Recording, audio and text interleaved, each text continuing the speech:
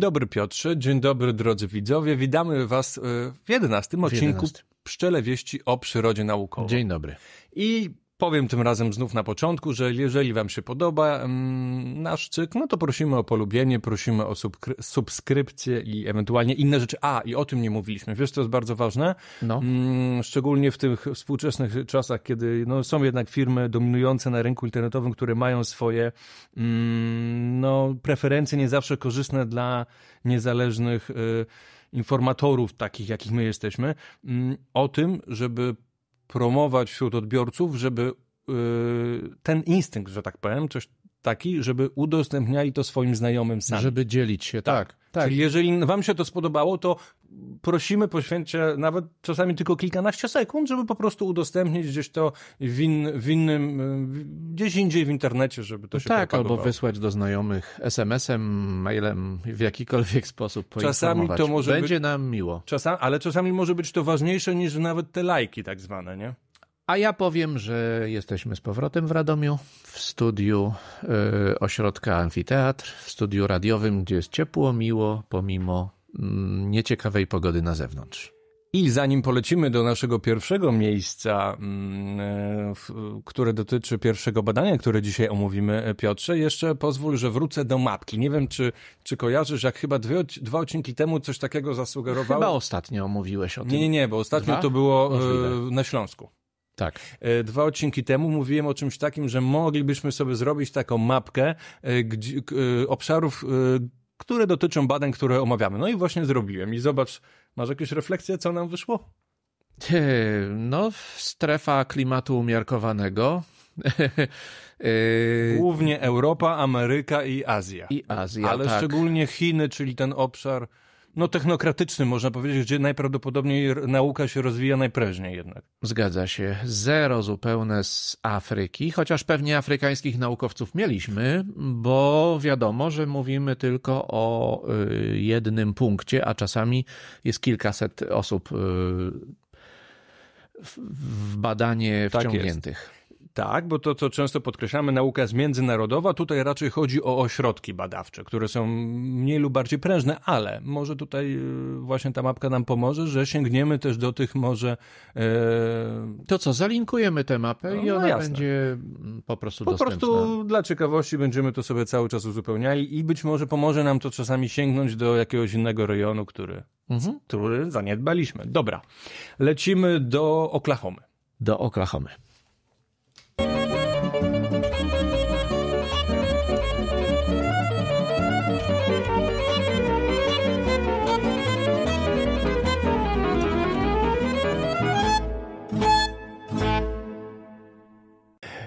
I naszym pierwszym tematem będzie nekrofagia u pszczół. Y, Od razu powiem, jestem sceptyczny takiemu nazywaniu y, tego zjawiska, ale y, tytuł pracy jest właśnie taki: Necrophagy in honeybees. Ale powiedz, czego dotyczy, no bo nie dotyczy stricte badania mm, tylko y, zachowań pszczół, ewentualnych zachowań pszczół związanych z nekrofagią, czyli trupojedztwem. Nie, oczywiście, że nie. To dotyczy y, warunkowania pszczół według y, starego pomysłu Pawłowa na y, poszukiwanie korzyści powiązanych z innymi czynnikami sensorycznymi, w tym wypadku zapachami. Tak, ale chodziło mi o to, że badanie dotyczy tak naprawdę y, entomologii sądowej, czyli to, o czym mówiliśmy już dwa odcinki temu, y, dlatego, że okazuje się, że pszczoły y, przez, przez swój bardzo dobry zapach, zresztą nie tylko pszczoły, czy, czy w ogóle żądłówki należące do, do tej grupy owadów, mają bardzo dobry zapach, mogą być uczone danych zapachów, mogą być uczone rozpoznawać dany zapach poprzez najprostszą rzecz, y, czyli po prostu warunkowanie na karmienie i mogą się przydawać w ten sposób do czegoś, co możemy nazwać medycyną sądową, czyli do łapania przestępców, Piotrze. Ciekawostka, że ten zapach mają ponad dwukrotnie czulszy niż psy. No widzisz. No i teraz powiedz, do czego są psy, gdzie są psy między innymi wykorzystywane? No są wykorzystywane na wielkich ośrodkach handlowych do łapania mm, na przykład przesyłek, w których są wysyłane nielegalne substancje. Mm, Na przykład porty. Międzynarodowe porty mogą być y, takim miejscem. Zgadza się. Z tym, że tam używanie psów jest drogie. Myślę, że częściej na lotniskach są używane. Tam się jakoś chyba lepiej sprawdzają ze względu na wielkości bagaży. No i właśnie. I, te, i tezą tego naukowca, który napisał y, tą pracę, a nazywa się on Jack... Brian David Morris, jest to, że pszczoły mogłyby wy, być wykorzystywane zamiast psów. Nie, nie, to, to, to znaczy nie całkowicie, żeby psy inne zwierzęta od tego mm, oddalić, tylko żeby tam, gdzie mogą właśnie, w takich miejscach problematycznych, przez to, że są y, ich szkolenie i opieka nad nimi będzie dużo tańsza, a i, sam, i, i też szybsza. Proces szkolenia może być dużo szybszy, tak jak on się upiera. Y, można by pszczoły właśnie wyuczyć jako zwierzęta hodowlane do pomocy człowiekowi w tego typu kontrolo, kontroli. Widzę sporo, yy, znaczy on, autor też widzi pewne, yy, pewne problemy w związku z tym, ale, ale rzeczywiście no jest to otwarte zupełnie zadanie i no opowiedzmy jak tak, czyli zanim, został zanim tutaj zniechęcisz naszych drogich widzów i słuchaczy do tego, to chociaż opowiedzmy na czym to badanie polega, dobrze? Tak jest. Y, no więc słuchajcie, badanie dotyczy właśnie padlinożerstwa, można powiedzieć. Znaczy różne zwierzęta, padlinożerstwo jest dość popularne e, w ekologii, w biosferze, tak? Jest dość e, popularnym mm, sposobem pozyskiwania pokarmu. Mm, czyli chodzi tutaj o mniej lub bardziej rozkładające się szczątki e, ciał zwierząt, innych zwierząt, od małych do dużych. I no i teraz okazuje się, że pszczoły, po pierwsze, on na to zwraca uwagę, że ewolucyjnie pszczoły pochodzą mm, od owadów, e, które były na przykład e, parazytoidycznymi osami, więc spożywały to mięso. Zresztą pszczoły mają zachowania kanibalistyczne, jak wiemy, więc mogą to robić. Zresztą tak. wymienia też pewne tutaj pszczoły należące do pszczół bezrządłowych w Ameryce, które aktualnie również się tym procederem zajmują, więc on wysuwa taką hipotezę, że być może nawet pszczoły miodne zachowały ewolucyjnie tą zdolność i można by je do tego, nawet jeśli na co dzień tego nie robią, podszkolić. No i ponieważ założył sobie tą hipotezę, a nawet pisał z tego, e, te badania były w ramach e, przez niego pisania pracy magisterskiej, no to postanowił wprowadzić to w życie i sprawdzić. I tak, no i zrobił to w taki sposób, że mm, spróbował te pszczoły uwarunkować na zapachy, na zapachy padliny. Mm, można to zrobić na dwa sposoby. Albo w, w pobliżu padliny postawić poidełka z syropem, albo y, te poidełka z syropem y, zaszczepić koktajlem zapachowym, y, który zawiera substancje mm, podobne do zapachu padliny. Tak, może powiedzmy, jakie to są substancje. Tiot mm, to są cztery substancje, głównie e, dimetyle mm, i sulfa, e, sulfamidyny, które po prostu zostały zidentyfikowane jako główne substancje, które wydzielają się podczas rozkładu ciała. No i teraz e, on tutaj podszedł właśnie ewolucyjnie. Najpierw metodologia polegała na tym, że właściwie badanie było podzielone na dwa główne etapy. W pierwszym, pierwszy dotyczył szkolenia pszczół. Tak. I najpierw mm, najpierw dane zapachy wkładał do, znaczy umieszczał, wprowadził grupę kontrolną, czyli pszczoły, które przez cały czas były, żeby sprawdzić, czy będzie różnica. Pszczoły, które były karmione neutralnym syropem z sacharozy i pszczoły, które były, mm, do których był dodany ten, sm ten smrodek z tych czterech różnych substancji. I najpierw dawał podkarmiaczki do ula. Najpierw było tak. do ula, żeby pszczoły się jakby do niego przyzwyczaiły. Później było... Później poza ul w coraz dalszych odległościach, yy, tak. kilku, yy, w kilku różnych etapach. Tak, i okazało się, że co? No i nie będziemy tutaj zbyt długo o tym rozprawiali. Okazało się, że gdzieś tutaj jest tabelka, którą wam pokażemy. Jeszcze jedna ciekawostka, no. że dodatek kofeiny do syropu zwiększał y, efekty, poprawiał efekty. Y, widocznie kofeina na pszczoły działa Ale to tak już jest udowodnione jak... y, innymi badaniami, że kofeina pobudza pszczoły do, dlatego są zwolennicy okay. nawet dodawania jej do suplementów, pobudza pszczoły do, do, do no mhm. po prostu pobudza pszczoły do i i zwiększa ich pamięć też. No więc, y, no więc badając efekty tych, tego y, skojarzenia, y, okazało się, że rzeczywiście, kiedy pszczoły miały później poidełka losowe, czyli takie, w których był sam syrop, albo ten syrop z, z tym koktajlem zapachowym, i one były rozstawione w pewnych odległościach. Pokażemy Wam mniej więcej schemat tego rozstawienia. To, to te właśnie zapachowe były odwiedzane znacznie częściej. Tak. tak. to jest właśnie ten schemat rozstawienia. E, w każdej. Tutaj wyszło, e, tutaj eksperyment wyszedł dość, wyniki są dość jednoznaczne. Znaczy, no, tak. trudno jest podważyć hipotezę, że mm, ten zapach nauczenie się przez pszczoły tego zapachu zwykłym, najprostszym e, eks, eks, eksperymentem bazującym na mm, teoriach Pawłowa, na, na zasadzie warunkowania przez jedzenie na określony zapach, że pszczoły po prostu później preferują syrop, który ma ten smrodek. Jak jest to robione? Najprościej, znaczy jak, jaka jest teoria tego? Że jeżeli będziemy e, coś przyjemnego e, łączyli z pewnym zapachem, tak, czyli na przykład pokarm, słodki pokarm, to później, żeby pszczoły pobudzić do zbierania pokarmu, wystarczy już sama ta substancja bez nawet pokarmu.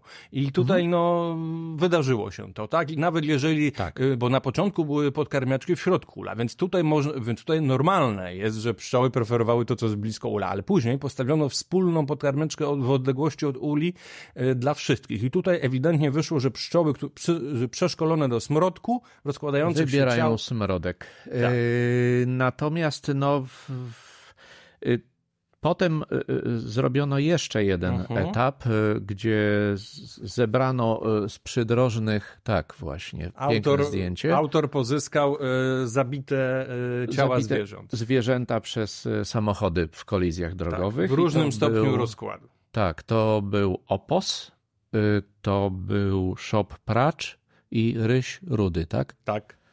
Shop Pracz był w największym stop, e, stopniu rozkładu. rozkładu i wiesz, że okazało się, że e, te e, pojedyncze pszczoły, które zarejestrowali które odwiedzały tą padlinę, właśnie najbardziej preferowały tego oposa, więc jest taka luźna hipoteza, że może być, żeby to się wydarzyło, może by potrzeb... jest potrzeba już odpowiednio zaawansowanego rozkładu. Tak.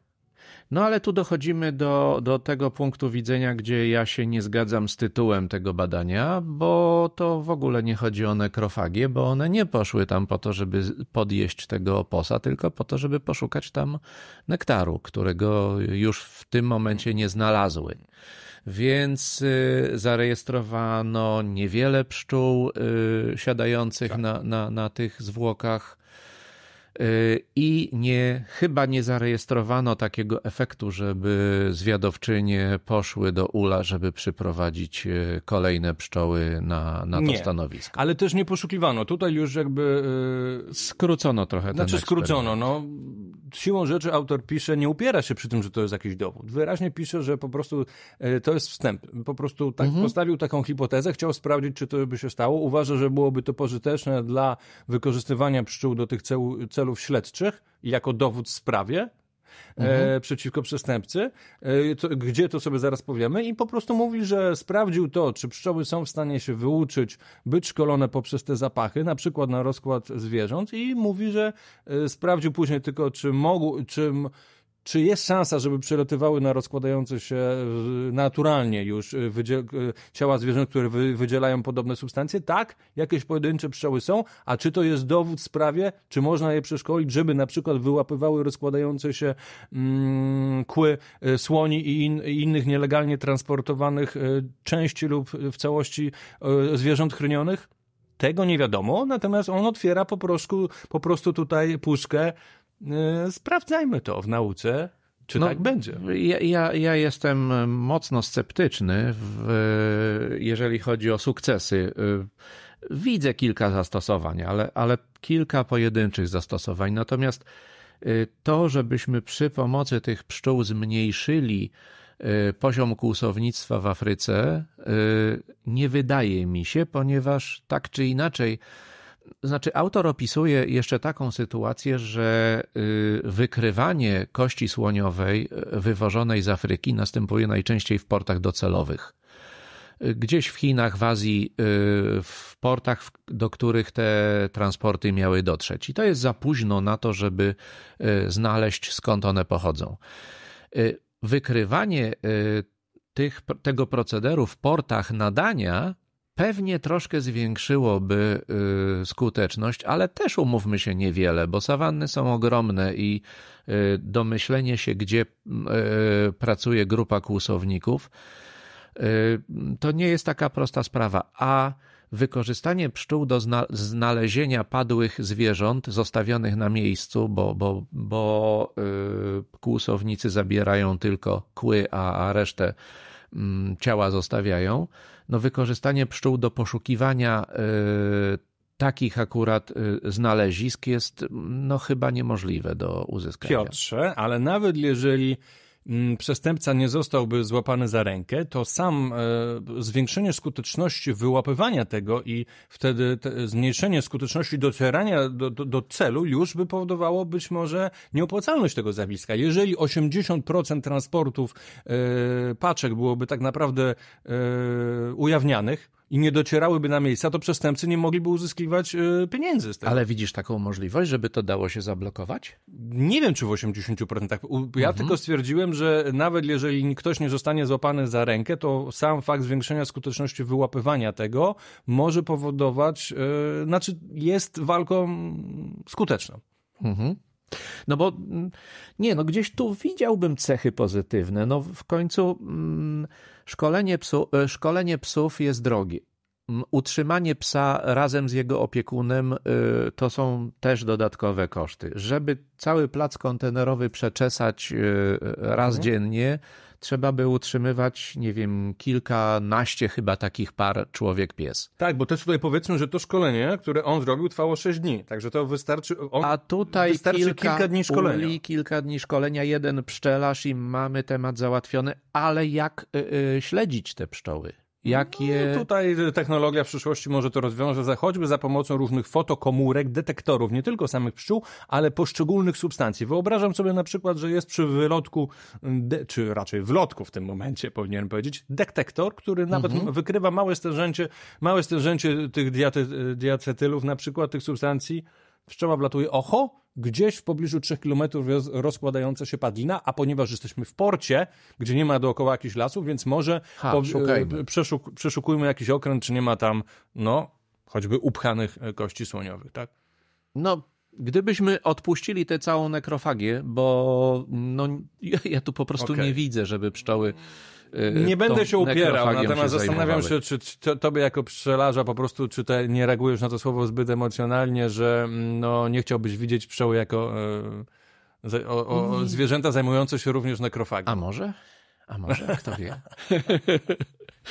Dobra. Dobra. Idziemy. Lecimy do Wielkiej Brytanii na dwa badania naraz, które e, są tak komplementarne, że postanowiliśmy je. Tak, połączymy je trochę. Omówić razem. Dzięki. Dzięki.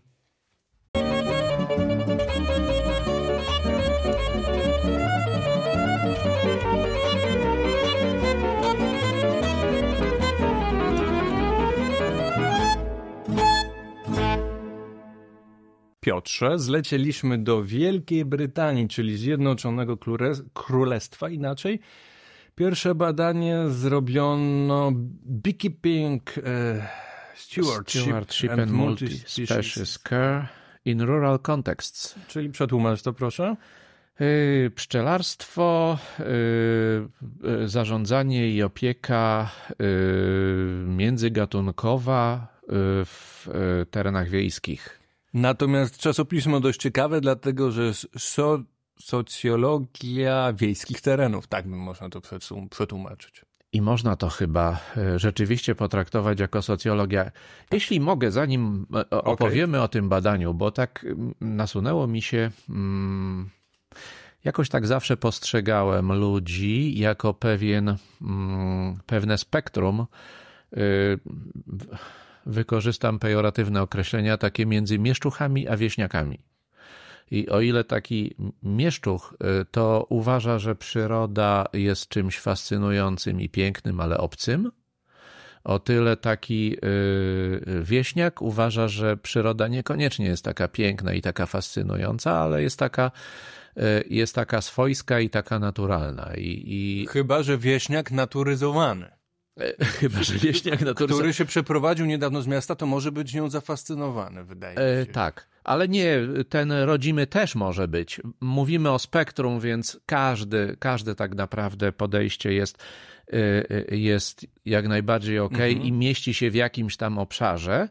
A, a mi się jeszcze kojarzy e, dwie rzeczy. Jedna, o których wiedziałem wcześniej, a jedna, o których się dowiedziałem dopiero teraz, bo na przykład takie zwyczaje Masajów, y, y, hodowców krów, polegających na tym, że oni głaszczą rogi tych swoich krów po to, żeby one nabierały fantazyjnych kształtów. Albo na przykład y, ludy północnoamerykańskie, podobnie zresztą jak Ainowie, czyli mm, rdzenni mieszkańcy Wysp Japońskich, którzy zabitemu zwierzęciu dziękowali za nakarmienie. E, Wydaje mi się, to jest takie, mm, to, to się kieruje w takie, e, w takie współistnienie w przyrodzie, e, zaprzeczające trochę temu, temu czynieniu ziemi poddaną. Okej, jak rozumiem, ponieważ będziemy e, e, opowiadali o badaniu na pszczelarzach przeprowadzonych. No właśnie, Tak. w tym momencie wchodzimy w badania, ale jest to zgodnie absolutnie z naszym celem, jaki sobie postawiliśmy jeszcze jak e, wymyślaliśmy ten projekt. E, Wchodzimy n- na, ba na badania, które przeprowadzono nie na pszczołach, tylko na pszczelarzach. pszczelarzach. Tak. E, Rozumiem, że zdążasz do tego, że pszczelarze właśnie mogą być e, kimś takim, e, taką spełniać rolę, jaką na, nakreśliłeś przed chwilą. A tak? przynajmniej katalizować ją.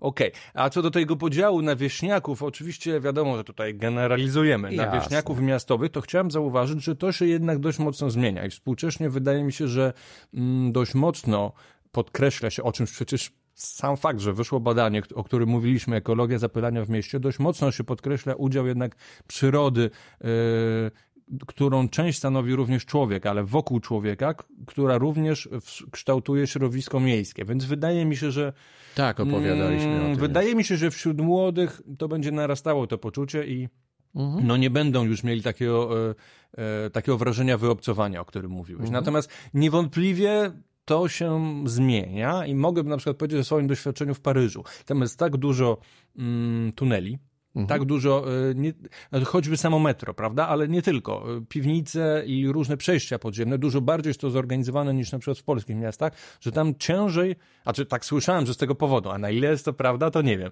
że e, s- podobno z tego powodu ciężej, bo rzeczywiście ciężej, spotkać jest tam spontanicznie pająka, który ciebie obłazi, na przykład w parku czy coś takiego, nie? No mnie akurat pająki nie przeszkadzają, nie mam arachnofobii, ale jeżeli komuś tak, to mogę mu polecić to miejsce do zamieszkania. Ja kiedyś miałem, ale już nie mam.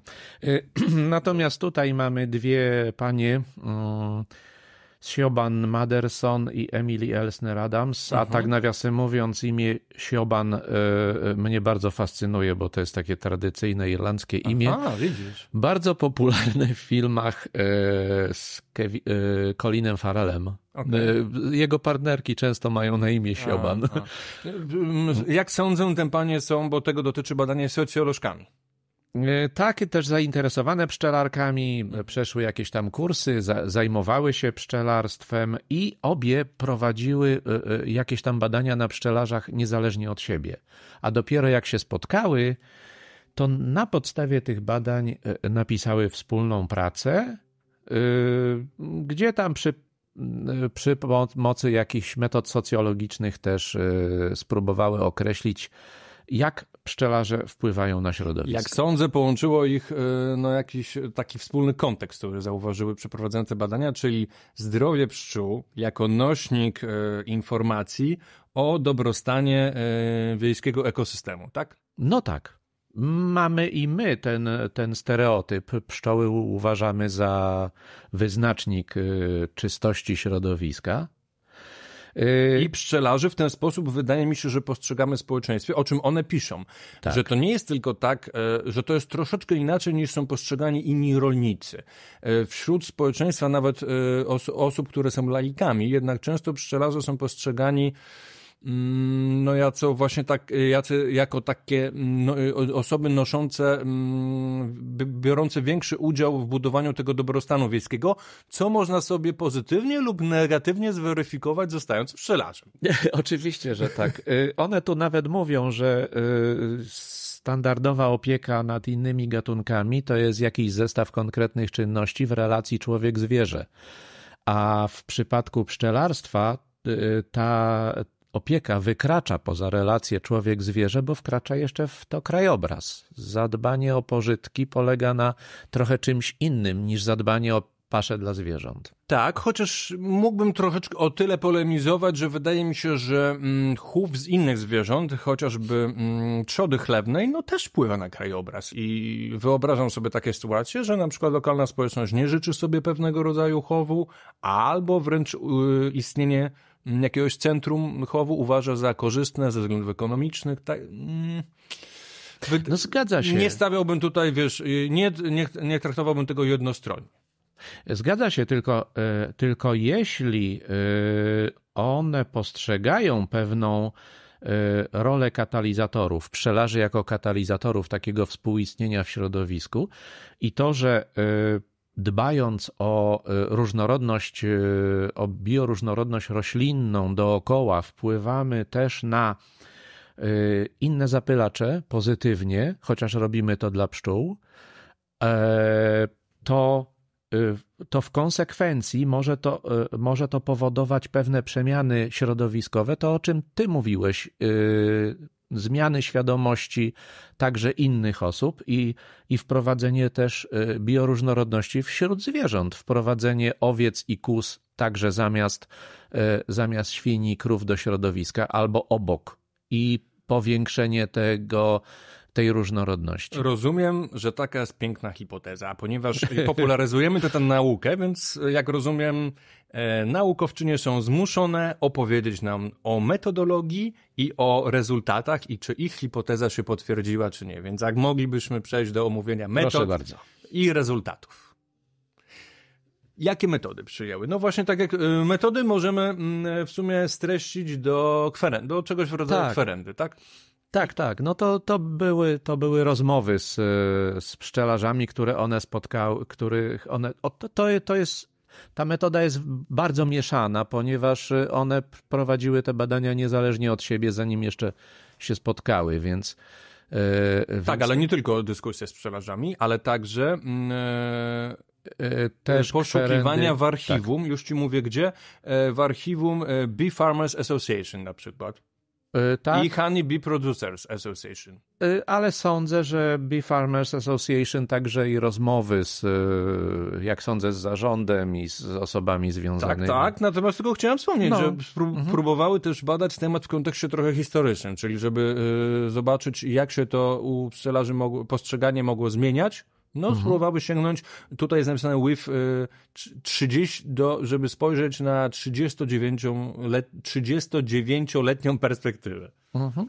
No dobra, no i jakie są w takim razie, e, ile tutaj jest napisane, czy w ogóle ile było tutaj tych e, rozmów przeprowadzonych? Mm, jest. Jest. Jedna z nich przeprowadzała wywiady z 50, 50 trzema osobami wywodzących się z lokalnych pszczelarskich klubów. E, żeby być zgodny z hipotezą, no to oczywiście wśród tych e, dominowały, e, te kluby organizowały pszczelarzy z terenów wiejskich i semi-rural, czyli to możemy takich powiedzieć podmi mm, podmiejskich. Tak, podmiejskich. Tak, mhm. mhm. Druga z kolei właśnie robiła tą kwerendę w archiwum i próbowała poznać perspektywy kilkudziesięcioletnią. Osoba, która najdłużej trzymała pszczoły, jedna z nich, która była wywiadowana, wywiadowywana, miała e, pszczoły 70 lat. Jest taka informacja. Tak. No i przechodzimy do tych rezultatów, które nas interesują. Co z nich, Piotrze, wyszło?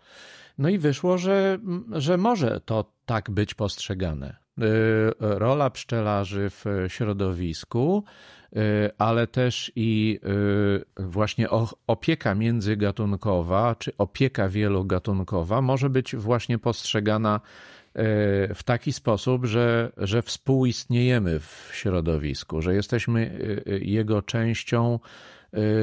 No nie tak, nie powiem, że na równi, bo, bo, bo jednak mamy podejście antropocentryczne z, z konieczności, ale Y, ale że możemy być y, otwarci na, y, we własnych środowiskach małych, wiejskich, tych, w których żyjemy, że możemy być otwarci na inne gatunki i na ich prawo do bytowania na tym terenie.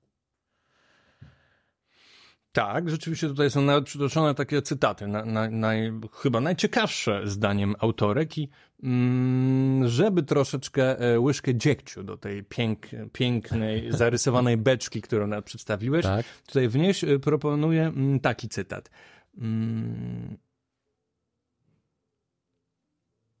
jeden z cytatów, teraz muszę go szybko znaleźć, ale no już może, może w sumie dość dobrze go pamiętam, wskazywał na to, że jeden z pszczelarzy, który był hobbystą, ewidentnie takim, mhm. który opisywał swoją motywację jako y, czerpanie przyjemności z pszczela, zauważał, że może być taka sytuacja, że ta opowieść o, bioróżno, o dbaniu o lokalną społeczność wiejską, o bioróżnorodność i ochronę środowiska może być de facto wykorzystywana również przez pszczelarzy do swoich celów ekonomicznych i przywoływał przykład mm, na przykład komercyjnego pszczelarza, który e, przywiózł swoje ule e, w sąsiedztwo jego kilku, tak, kilkupniowej pasieki i wyrabowały po prostu go. Tak, to prawda. Wyrabowały mu jego trzy ule. Tak. Mhm. No. Tak. Czy to nie psuje, nie psuje, tego wizerunku? Racja, ale okay. prawdopodobnie pszczelarz, który je, e, który je przywiózł, nie miał takiego właśnie podejścia. Tak, no pewnie. Żyjemy w, w tak jak, tak jak powiedziałem gdzieś tam na wstępie, jesteśmy y, uczestnikami całego spektrum różnych zachowań. Czyli wniosek, Ale... wniosek jest taki, że co? Że pszczelarze mogą stanowić taką dobry, mm, do, dobre hobbystyczne zajęcie y, do sam, samo uświadamianie, a także do uświadomienia innym w lokalnej społeczności, do propagowania idei bioróżnorodności i ochrony środowiska, tak? Tak to widzę. No. Tak to widzę. I możemy chyba do, do kolejnego badania dość płynnie przejść. Tak, które uważam, że troszeczkę psuje e, tą wizję, którą nakreśliły nam autorki, naukowczynie tego badania. A to dlatego, że moim jednak zdaniem w tym badaniu, które ja będę chciał ci, znaczy, które razem przeczytaliśmy, ale będę tak, chciał oczywiście. ci trochę zaproponować, tak? Taką rolę tutaj wszedłem. Jednak mm, jest bardziej mm, takie ścisłe, w tym sensie, że posłużono się, o, Mamy, ciekawe, czy Państwo będą to słyszeli, no akurat jakaś próba Mamy zespołu. obok próbę, tak, w studiu nagrania. E, tak. E, jednak posłużyli się moim zdaniem dość bardziej zaawansowaną, znaczy przynajmniej ścisł, może nie, bar, bardziej ścisłą metodologią, to znaczy konkretnie e, tak zwaną, poszukałem, poszukałem sobie o tym w internecie, Metoda. metodą Q-sort. Q-sort. Mhm. Metodologią Q, która polega na odpowiednim usystematyzowaniu, nie takich swobodnych rozmowach, tylko przepyty, tylko tak przepytywaniu i proponowaniu w, w, właściwie pewnej grze. Każdy ma, która ma określone zasady i e, ona mm, jest tak zorganizowana. Pokażemy wam tutaj tą planszę, jak wygląda i też no, tak. no, niestety mogli to akurat w tym wypadku troszeczkę lepiej to zilustrować, choć i tak ten artykuł jest dobrze zilustrowany, bo ten poprzedni w sumie nie jest zilustrowany. Mm. Ale jeśli pozwolisz, ja spróbuję to nakreślić e, tak trochę Dobra. inaczej, e, bo e, tak, oni zadali każdemu z pszczelarzy... To jest pierwszy było, etap badania. Tak, zadali 43 pytania łącznie i y, prosili o odpowiedzi na to y, od, w takiej kategorii od minus czterech, czyli absolutnie się nie zgadzam, do plus czterech, czyli absolutnie się zgadzam.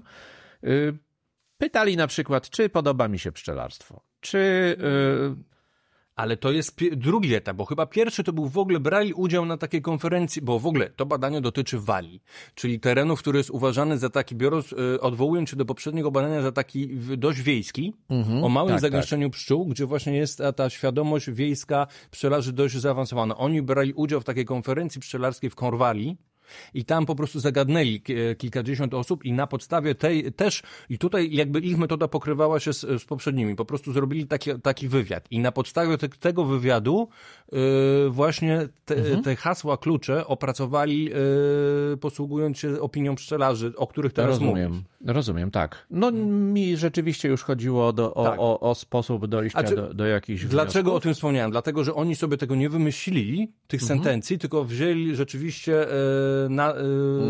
Wzięli z tego wywiadu, tak, z, tych, tak, tak. z tego, co, co ludzie mówią. Tak jest. A później, a później przeprowadzili wywiad z kolejnymi, tym razem już 20 wywiadów e, z kolejnymi osobami, którym zadano te 43 pytania. No właściwie czym... ćwiczenie, można powiedzieć wręcz. Tak, było to, był to rodzaj ćwiczenia i te, te tak zwane wywiady, one mm, e, trwały od 15 minut do 2 godzin, w zależności od tego, jak e, rozgadany był pszczelarz i jak potrafił rozwinąć jeszcze e, swoje odpowiedzi. Niemniej chodziło o to, żeby każdy z nich określił się mhm. na te 43 pytania.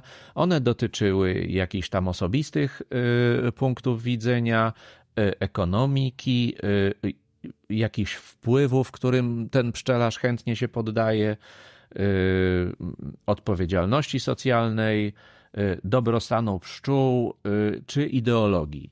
Tak. A to potem zostało w bardzo ciekawy sposób opracowane. Znaczy nie, moim zdaniem jest troszeczkę odwrotnie. po prostu zrobili ten kusort i ten podział, o którym powiedziałeś, na te e, e, różnych motywacji pszczelackich i różnych grup pszczelackich został właśnie, mm, jest wynikiem tego kutestu. Mhm. Powiedzmy, e, dość, chciałem kilka słów powiedzieć jednak o tym kuteście, czy tam kutechnice. E, poszukałem sobie, że ona stosowana przez psychologów i socjologów.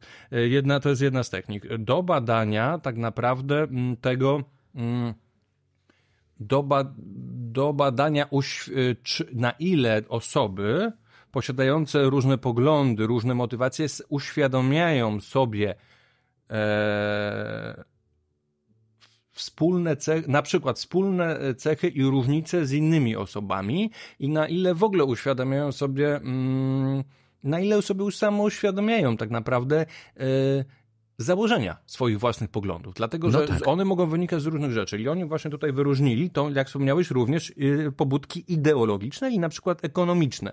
I powiem Ci od razu właśnie, ja trochę powiem, jak wyglądał ten test. On ma trochę taki, mm, rozkłada się, tutaj pokażemy, rozkłada się, mm, rozkłada się taką planszę, i do tego są karteczki. Każda karteczka, e, znaczy trzeba zużyć wszystkie karteczki mhm. w tej grze. I teraz mm, zobaczcie sobie, że ta plansza ma trochę taki dzwonowaty charakter, to znaczy najwięcej karteczek można umieścić na środku. E, I te hasła, klucze, które oni mają umieszczać, ci, ci badani, odpowiadają takim, mm, to nie są takie wyrażone wprost poglądy, czyli na przykład jestem pszczelarzem naturalnym, e, jestem pszczelarzem konwencjonalnym. Wszyscy, którzy nie leczą odpowiednio pszczół, powinni zostać ukarani. Nie, tak, nie. tylko raczej na przykład Emocje. podobają mi się czyste ule. Tak jest. Tak, to Honey są pytania... are fascinating. E, to o, są właśnie. takie karteczki z hasłami. Mhm. Pszczoły miodne są fascynujące. To ma po prostu na przykład zbadać, ale teraz ktoś może ułożyć na tej planszy, czy dla niego to jest radykalne, czy nie. Mhm. I teraz wiesz co, to ułożenie takie, że jest mniej prostokątów do włożenia karteczki po bokach, a, a na środku najwięcej ma e, odzwierciedlać naturalny, e, naturalną krzywą dzwonowatą, że najczęściej e, większość zazwyczaj poglądów jest, e, czy w, czy emocji jest gdzieś na, na środku, tak, umiarkowanych, tak, tak. a najmniej jest radykalnych. I ludzie po prostu są niejako, no mogą myśleć długo, ale w końcu ostatecznie mają, no są zmuszeni, jeżeli chcą wziąć w tym udział, do, do przemyślenia swoich postaw i ułożenia je mhm. na tej mhm. planszy. I właśnie, co wyszło, jak... Mm, jak przebadali. No więc wyszło, że mm, w sumie dość ciekawa opcja, że mm, jakie motywy wyszły jakie motywy wyszły. Najpierw powiem może, jakie motywy wyszły. Tak, pięć, jakie... pięć motywacji, tak. którymi się ludzie mm, kierują. Tak, tak, tak. Właśnie, gdzie tutaj one y, są? No ja może zacznę Dobrze. od typowych hobbystów. Nie, nie, to... Ja... A, o czym innym myślisz tak, w tym tak, momencie, mówię rozumiem. nie o podziale ludzi, tylko o podziale motywacji, bo wyróżnili dwa podziały. Jeden to jest podział na, e, na mm, Dobrze, to może powiedz, powiedz teraz, mm. bo znaleźli pięć grup pszczelarzy. Tak, pięć grup pszczelarzy, których, którzy jedni z nich są typowymi hobbystami. Y, inni są pszczelarzami naturalnymi y, i y, niekoniecznie oni sami się tak właśnie kwalifikują, tylko wynikło to z, tych, z tej gry i z tych odpowiedzi na pytania. Mm, są też tak zwani hodowcy czarnych pszczół, czyli w, w fali, gdzie te badania były robione, to są pszczoły lokalne. Podobnie u nas by było, dotyczyłoby hodowców Apis mellifera mellifera. Kolejny, y, kolejna grupa to są hobbyści nowokonwencjonalni. Y, cokolwiek by to znaczyło, ale mm, jeśli znajdziemy czas, to opowiemy o tych grupach więcej, a jeśli nie, to ja bym, ja, ja jeszcze sam chętnie posiedzę nad tym dłużej, bo to jest bardzo ciekawe i namawiam Was na to, żeby, y, żeby zajrzeć do tego badania i troszkę nad nim posiedzieć. No i ostatnia grupa to pszczelarze pragmatyczni. Czyli pięć grup. I teraz, yy, a z kolei znaleźli sześć motywacji, jakie motywują tych, te osoby w tych różnych sześciu grupach do podjęcia się yy, pszczelarstwa, zajęcia pszczelarskiego. Otóż są to yy, osobiste pobudki, ekonomiczne, mm, związane z zarządzaniem po prostu społecznością, lokalną społecznością, odpowiedzialność społeczna do, dobrost, dobrostan. dobrostan pszczół, czy tam zdrowie pszczół, różne tak. można by to przetłumaczyć, no i ideologia. Mhm. Żeby nie było tu, bo niektórzy tam uważają z tego, co wiem, że to słowo jest przesadnie używane. Otóż nie, jest w tym badaniu wielokrotnie użyte to słowo, dlatego jest, jestem kryty. Ideologia jest w tym momencie bardzo ważna. Jestem kry... Tak, w ogóle mhm. jakie były... Jakie były, co wyszło z tych badań, jakie pobudki motywują pszczelarzy najczęściej? Ekonomiczne, i ideologiczne, e, więc mhm. no jednak trochę to burzy mit o takich pszczelarzach, którzy są czysto racjonalni, myślą tylko o opłacalności, bo jednak myślą dużo o ideologii. No a z drugiej strony też nie można powiedzieć, żeby pszczelarze nie myśleli o względach ekonomicznych. No te dwie głu... Tak. Nie ochrona środowiska właśnie Piotr, e, tak. nie zdrowie pszczół, tylko najbardziej motywuje pszczelarzy ideologia i, I ekonomia. I ekonomia. Mhm. Tak jest. No a y, zebrano to w taki fajny, ciekawy wykres właściwie serię e, pięciu wykresów, gdzie przypisano te, e, te grupy, o których ja mówiłem wcześniej. E, I pokazano, jak wygląda mm, taki rozstrzał poglądów pszczelarzy, których do tych grup przypisano. Widać tu takie gruszkowate kształty, które dla każdej grupy wyraźnie w jeden punkt celują i wskazują ten punkt ale y, jeśli by to było bardzo ostre, to te, y, to te gruszki byłyby też bardzo ostre, czyli ta część y, bazowa byłaby wąska, a szpic byłby mocno wysunięty.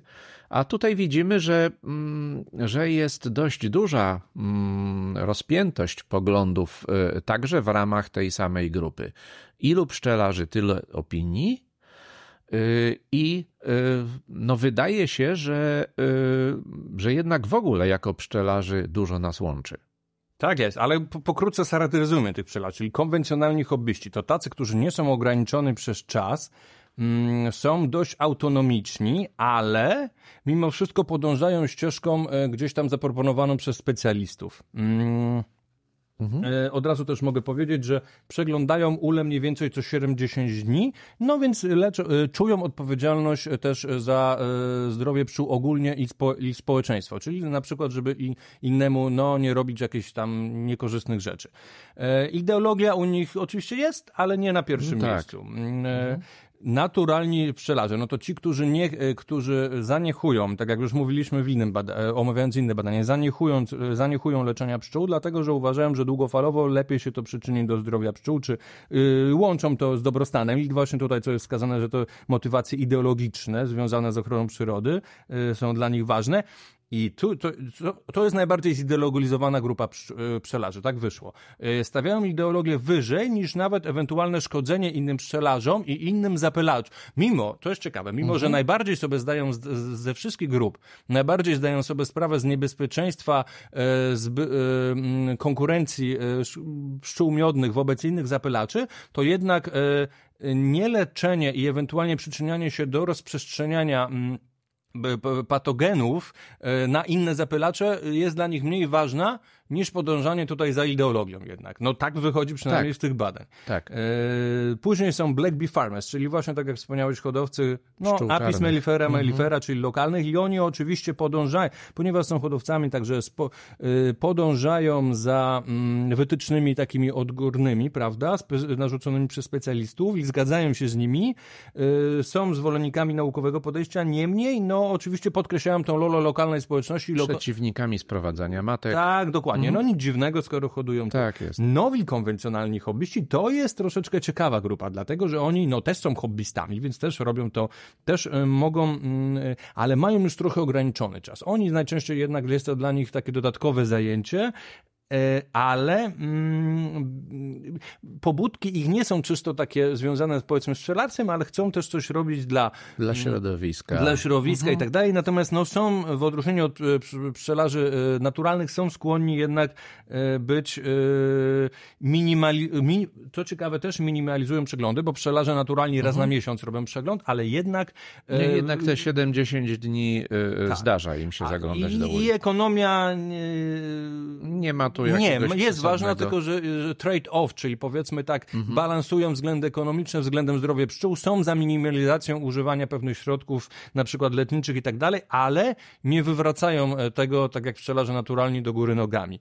Mm, no i pragmaty, pragmatic bee farmers, czyli tacy już pragmatyczni hodowcy, dla których e, który e, ideologia jest najmniej ważna, najbardziej ważne są jednak dla nich tutaj te hodowla i wszystko, co jakby sprzyja hodowli, dla nich ustabilizowanej, będą popierali, czyli popierają powiedzmy to weterynaryjne, e, tradycyjne, standardowe mm, podejście i nie do końca, mimo że przedstawiają się jako też oczywiście zwolennicy zdrowia pszczół, nie do końca do nich przemawia to, żeby nie sprowadzać na przykład obcego materiału, no, no bo tak. oni je hodują. No, czyli wychodzi z nich po prostu no tak, ich z pragmatycznego punktu indywidualne widzenia, cele stawiają sobie wyżej. Na to, że im się to będzie opłacało. Więc mhm. indywidualne cele są wyżej dla nich niż niż niż e, powiedzmy jakieś takie socjalne, mhm. ogólne pobudki. Natomiast mimo wszystko nie jest to takie proste, co wychodzi z tych badań, bo wychodzi, że często biorąc pod uwagę cele ideologiczne mogą być wspólne dla wszystkich grup, ale mhm. E, inne rozumienie ich właśnie ideologiczne powoduje, że nie są w stanie się dogadać. Ha. Czyli... Ta, tego wychodzi z badań. Czyli mamy takie samo podwórko we wszystkich krajach? Tak, w ogóle bardzo mi to przypominało tutaj polskie podwórko. No, no tak. zobacz sobie, na przykład ta tabelka to dość dobrze pokazuje. Ale oczywiście. Mhm. Mm, chcę leczyć warozę, y, akceptuję chemiczne substancje, prawda? I od, sprowadza się to do dbania o swoje lokalne środowisko również i do konserwacji na przykład. E, natomiast jeżeli mam odpowiedź, e, możemy również z odpowiedzi I do not treat the varroa, czyli nie stosuję żadnych leków, też możemy, mm, też możemy dojść do po prostu podobnych wniosków. Także jest to mm, no, rzeczywiście Zupełnie. E, jest to, jest tutaj tak. jakiś poziom niedogadania się pszczelarzy, który wynika niekoniecznie właśnie z pobudek pragmatycznych, czyli, czyli, a raczej ideologicznych. No i to byśmy mieli połączenie z tym poprzednim badaniem, z tym spektrum właśnie, z, z tym, e, że co człowiek to opinia, bo przecież e, jak się spotykamy na różnych e, pszczelarskich spotkaniach, to też mamy taką samą sytuację, że, że owszem, zgadzamy się z prelegentem, ale mamy jakieś własne zdanie na temat ten, tamten, inny. Tak, tutaj wyszedł też dość ciekawy konflikt pomiędzy wiedzą naukową, a tak. wiedzą tak zwaną z doświadczenia, w to tym prawda. również y, pod, y, podgrupa tej wiedzy z doświadczenia wiedza ukryta. Otóż część mhm. pszczelarzy, i to też było dosyć ciekawe, że w różnych grupach, część y, również, część pszczelarzy zgadzała się z wiedzą naukową, ale uważała, że to, że e, równie ważna może być wiedza z doświadczenia. I tutaj część pszczelarzy no, chętnie się dzieli tą wiedzą, czyli to jest taka wiedza powiedzmy trochę z mistrza nauczenia, a część e, jest to wiedza taka ukryta, czyli po prostu no, zdobędziesz ją, jeśli będziesz powiedzmy 10-20 lat pszczelarzem i wtedy będziesz mógł posiąść jakąś wiedzę. No i mm, tutaj naukowcy zastanawiają się, jak można połączyć to, bo tak, bo właściwie wszyscy, to co wyszło, ten Q-test ma też trochę doprowadzić do tego, żeby e, uzmysłowić samym badanym i innym, co może z tego wyjść. I właściwie z tego Q-testu wyszło, że wszyscy zgadzają się do, co do długoterminowych tutaj e, celów. Że, tak, i do systemowości Ale, celów. Tak, wszyscy zgadzają się,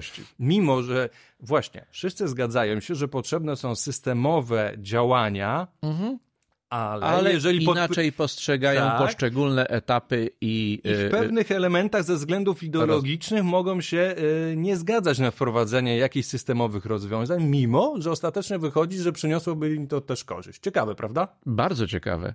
Nie, na mnie to zrobiło naprawdę bardzo duże wrażenie i im za każdym czytaniem tego artykułu wyciągam coraz to nowsze wnioski. To jakie wyciągnąłeś? Naprawdę warto.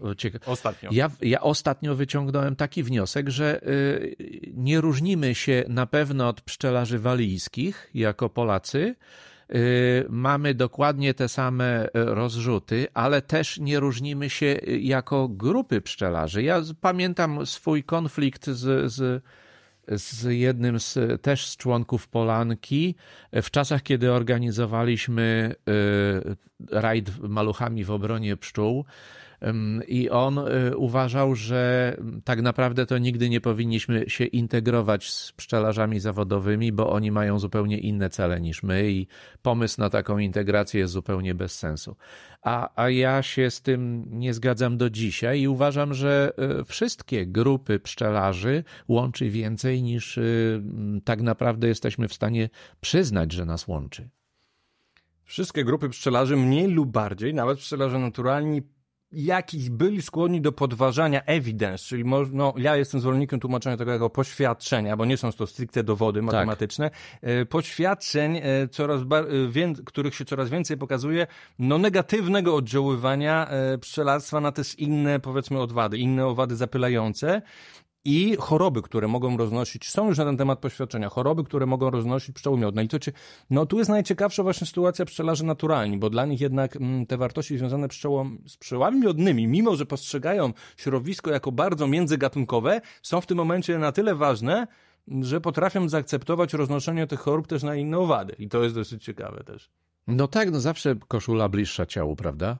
Tego, tego już nie zmienimy. To, to musi tak zostać. Natomiast no, jeśli zostaniemy przy, przy mm, środowisku jako środowisku, to, to, to myślę, że to badanie uświadamia e, nam bardzo, że, mm, że nie pozbędziemy się nigdy różnic, które między nami występują, e, ale też ale też zawsze y, będziemy mieli jakieś wspólne cele i, i, ku tym celom powinniśmy dążyć. A ja bym chciał zobaczyć badanie i może kiedyś takie jakieś porządnie przeprowadzone znajdziemy, mm, na ile to, co wyszło właśnie z tego przyglądania się poglądom pszczelarzy y, i samo przyglądania się też, na ile odpowiada rzeczywistości, czyli na ile podejmowane pewne działania, nawet w dobrej wierze, rzeczywiście są skuteczne na przykład dla ochrony tak, tak zwanej bioróżnorodności, społeczności, czyli i, i międzygatunkowej społeczności, takie, która na przykład zgodnie z tymi celami y, w motywacjach y, pszczelarzy jest skuteczna. Wysoko mierzysz. Mam nadzieję. Wiesz co, już widziałem takie badania w Niemczech kiedyś, więc mam nadzieję, że i na takie e, trafimy. Na ile konkretnie tak. podejmowane pewne działania nie są, ale nie chodzi tylko o skuteczność. Nie chodzi tylko o skuteczność środowiskową, ale skuteczność rozprzestrzeniania, rozprzestrzeniania idei, bo tak. może się okazać na przykład, yy, że, pewne że pewne podejmowanie działania są przeciwskuteczne. Taki ciekawy przykład. Okazało się, że mem, który ośmiesza, jest taka, nie pamiętam jej nazwy, małpa z takim nosem, która jest bohaterem memów. Okazało się akurat tutaj... Nosacz sumatrzański, tak, o ile dobrze Okazało się nie, nie intuicyjnie, że pomimo, że ten mem ośmieszał to, ośmiesza to zwierzę, to akurat przyczyniał się dość dobrze do propagowania tej idei, która mm, no, dla konserwatorów przyrody była słuszna. No i też fajnie, prawda? Więc jestem ciekaw, jak tutaj, jak tutaj. Ja jestem, jestem. na przykład chciałbym zobaczyć, na ile stawianie uli i domków e, dla murarek, załóżmy w Sejmie, rzeczywiście, ale po, nie tylko rzeczywiście sprzyja konserwacji biologicznych e, różnych gatunków, e, konserwacji biologicznej i ochrony środowiska, ale na ile tę ideę dobrze rozprzestrzenia zgodnie z założeniami. Czyli też powinny być badania psychosocjologiczne. Ciekaw jestem tego. Wszystko przed nami. Dzięki. Widzimy się w kolejnym odcinku. Widzimy się. Do usłyszenia, do Hej, zobaczenia. hej. Hej.